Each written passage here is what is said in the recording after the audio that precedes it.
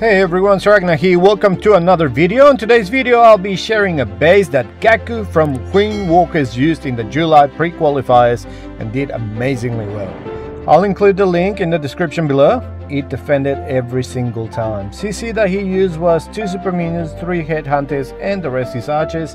Traps, aren't perfect, but I pretty much copied it as much as I could.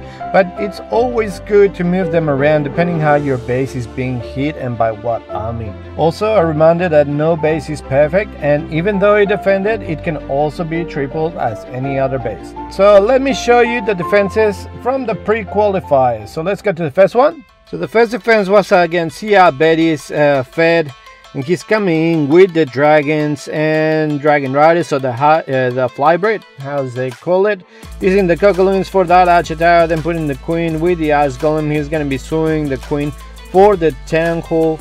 Uh, he's got uh, another super wall breaker. He's gonna be able to go all the way in. Now the queen is gonna be able to walk all the way inside. So it's a pretty easy uh, Sui um, Tanho.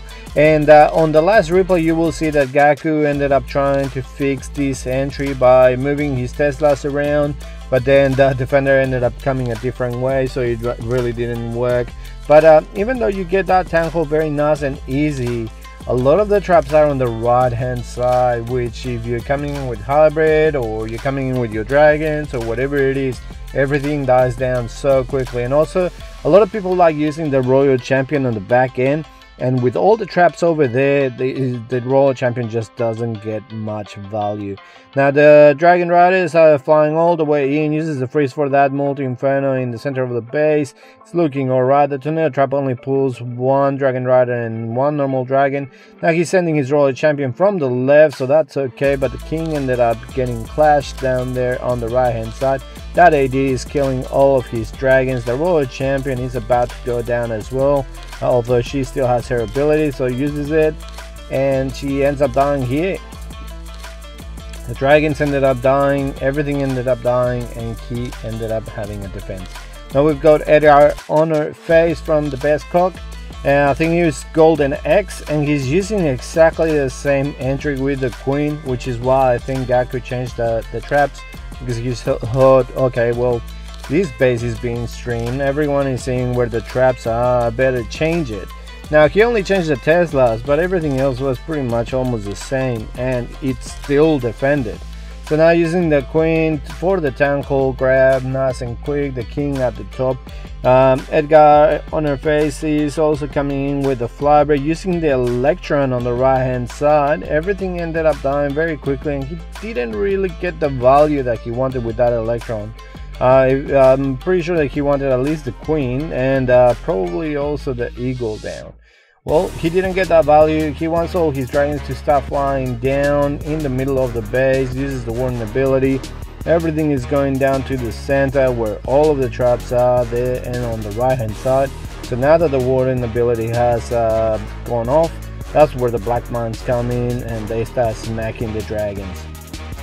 He still has his royal champion. He also has a freeze and an invisibility spell again since the royal champion from the left starts uh, running around now remember, a lot of the traps are over here on the right hand side. So there's giant bombs, there's skelly traps. It's just gonna be stalling the world champion over and over again. There's the skelly trap again, the king.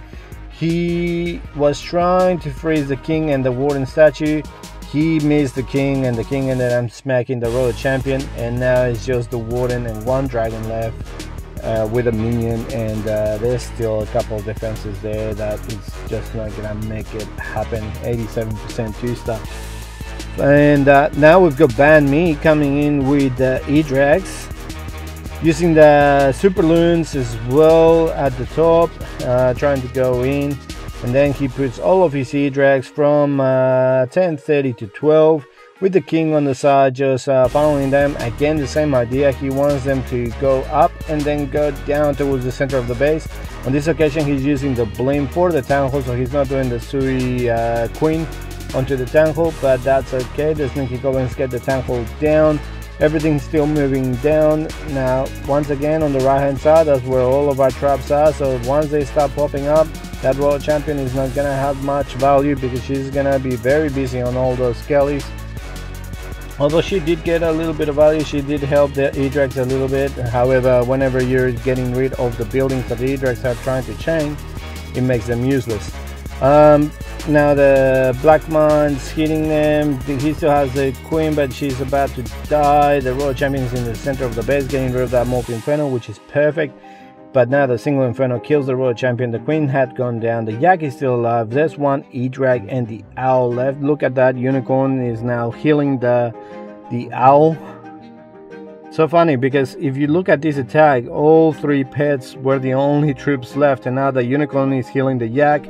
But the Archer Tower ends up killing it and then it's just this minion and this was another defense. And finally we've got Nebrax from Tribe Gaming. This was their last war that allow them to qualify and uh, this is where he changed his traps uh, because everyone was uh, suing, suing their queen from 8 o'clock but Nebrax decided to come in from 10 o'clock and you will see how all the Teslas are around 7.30 um, and as I said before that's what you can do with the base. Just move your uh, traps around and that will make them make the base either stronger or it will make it weaker depending how good you are at moving traps.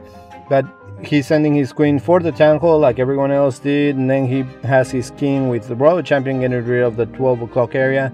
And he's the first attacker that is coming in with a lava loon instead of the flybrid so now he starts with his uh, lava loon flying all the way from 12 down 3 and going into the center of the base they're gonna be able to go in nice and quick under the vulnerability. The headhunters end up killing the defending queen, and the loons are looking nice and strong, flying around. He sends his blim from uh, 3 o'clock, I think, to get rid of the multi inferno in the center compartment. That way, his loons can just continue flying around. However, they get smacked very quickly. The dragon from the slammer also gets killed by that single inferno. Now, the rest of the loons are about to collapse at the end, but there's the AD, the Wizard Tower, there's the, the Teslas that Gaku moved, and also he moved the Tornado, and this ended up being a 91% 2 star. Well, that's the base. As I said before, I left a link in the description below. Uh, thanks to Gaku and also thanks to Eric for uh, streaming all of his wars live. That way we were able to see this amazing base. Um, hope you enjoyed. Hope it uh, defends for you. And uh, if you like the video, please click the like button, subscribe to the channel, and I'll see you next time with more Clash. See ya.